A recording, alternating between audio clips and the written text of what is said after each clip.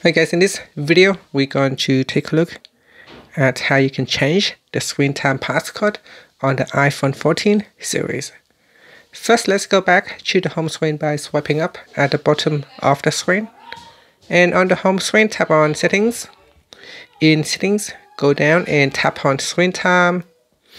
Then we go down and in here, tap on change screen time passcode now tap on change screen time passcode from the pop-up. Then you need to enter in your old screen time passcode. And then next, put in the new screen time passcode.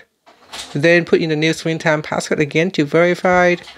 Now ask you that um, you need to set the screen time passcode recovery. So you need to put in the Apple ID.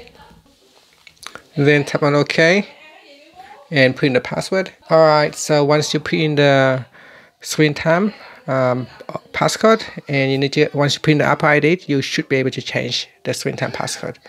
And that's it. Finally, you can swipe up to go back to the home screen. Thank you for watching this video. Please subscribe to my channel for more videos.